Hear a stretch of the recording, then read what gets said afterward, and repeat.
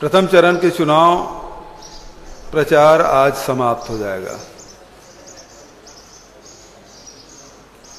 परसों मतदान है। मतदान के पहले आम मतदाता अपने मन बना चुके हैं। लगातार उत्तरी आसाम के चुनाव प्रचार में रहा। सैंतालीस विधानसभा में से बहुत सारे विधानसभा और करीब करीब सभी ज़िले का मैंने दौरा किया है। लगभग दो सप्ताह का समय मैंने उत्तरी आसाम में व्यतीत किया। हमारे सभी साथी वहाँ हैं।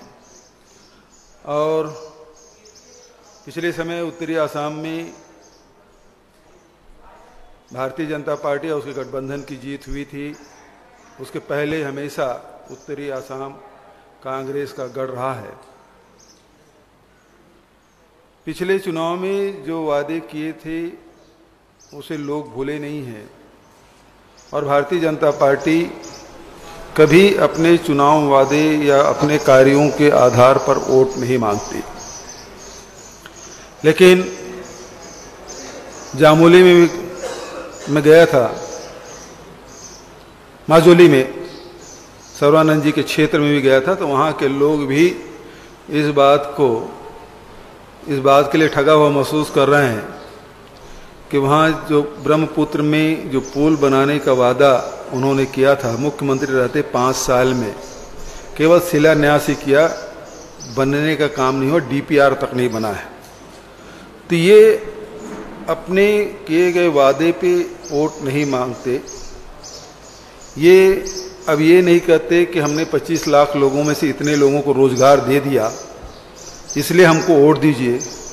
ये इसलिए वोट नहीं मांगते, हमने किसानों की, कितने किसानों की आय दुगुनी कर दी है, इसलिए हमको वोट दीजिए।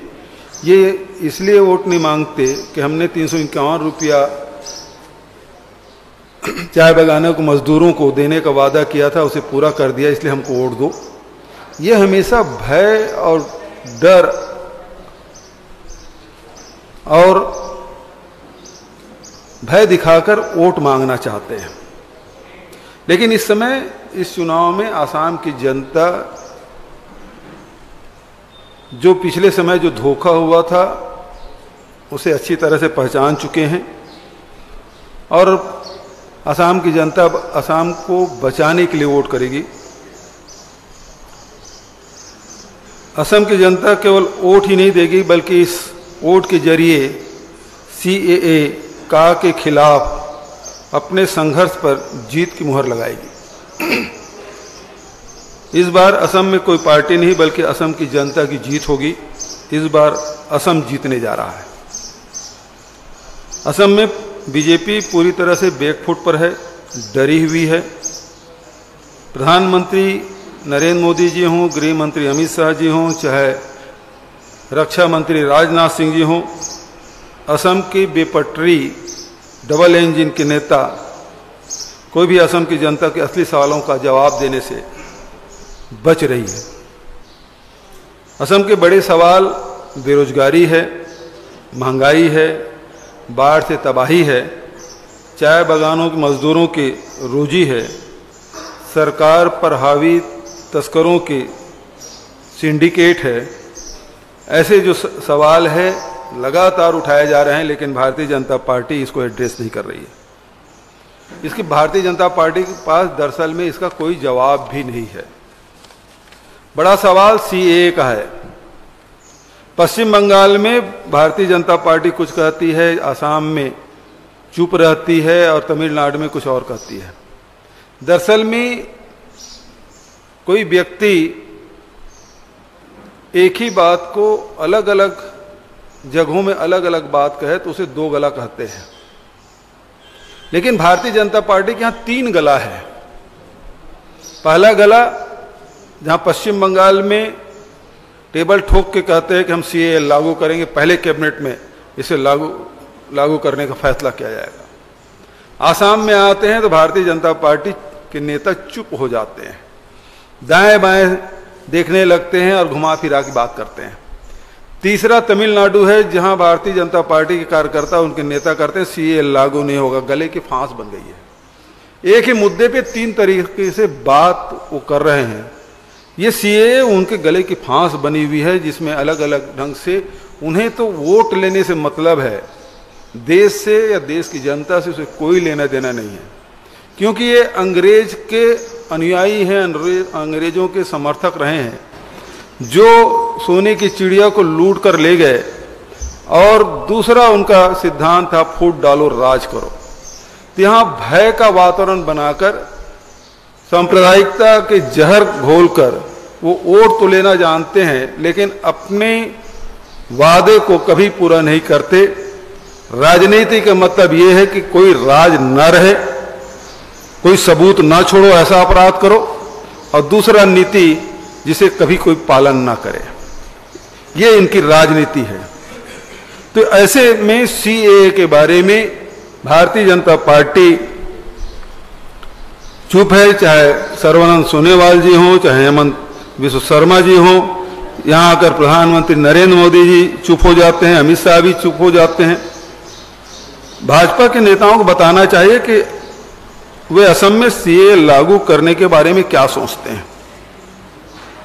कांग्रेस के नेता हमारे राष्ट्रीय नेता राहुल गांधी जी जब पहली बार शिव सागर में आए थे तभी उन्होंने घोषणा कर दी करती थी कि CAA लागू न, नहीं होगा। असम की असम की जनता कहती है कामीन ना मानू। और उसको स्वर देने का काम राहुल जी ने किया और उन्होंने कहा कि कांग्रेस की सरकार आती है तो हम सीएए लागू नहीं होने देंगे।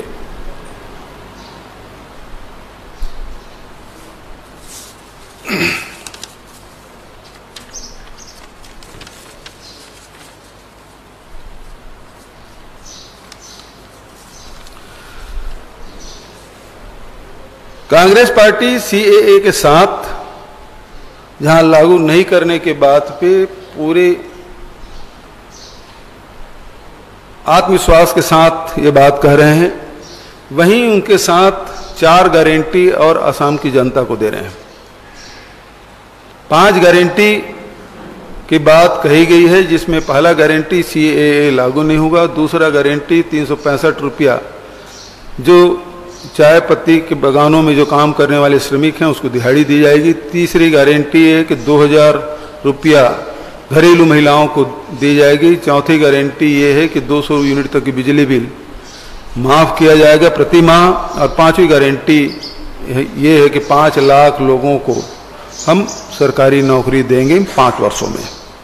लेकिन सबसे बड़ा सवाल सीए का है, जिसके मामले में भारतीय जनता पार्टी मौन है, चुप है। तीन अलग अलग राज्यों में तीन तरह के उनके व्यवहार है। इससे स्पष्ट हो जाता है कि भारतीय जनता पार्टी के पास कोई दृष्टि नहीं है, कोई दिशा नहीं है। वो देश में केवल जहर भरने का काम कर रहे हैं, जबकि यह देश गौतम का है, नानक का है, कबीर का है, तुलसी का है, शंकर देव का है, रामकृष्ण परमहंस का है। जिन्होंने पूरे देश में भाईचारा, प्रेम का संदेश दिया। और ये केवल भय दिखाकर वोट प्राप्त करना चाहते हैं तो मेरा स्पष्ट मानना है कि काठ की हंडी बार बार नहीं चढ़ती। एक बार हो चुका लेकिन बार बार नहीं होगा। आपके तरफ़ से कोई सवाल हो तो मैं अंत में ये कहना चाहूँगा कि असम की जनता मन बना चुकी है। महागठबंधन की सरकार स्पष्ट बहुमत के साथ बनने वाली है। अमित शाह जी 100 प्लस की बात किए हैं, वो हमारे लिए है। छत्तीसगढ़ में आए थे, तब उन्होंने कहा था कि 65 प्लस, लेकिन वहाँ हम 70 सीट जीते 65 प्लस हमारा छत्तीसगढ़ में हुआ। झारखंड में में भी वो, उन्होंने कहा था, लेकिन सरकार हमारी बनी। अब असम में वे कहे हैं तो 100 प्लस कांग्रेस महाजोट के आने वाली है।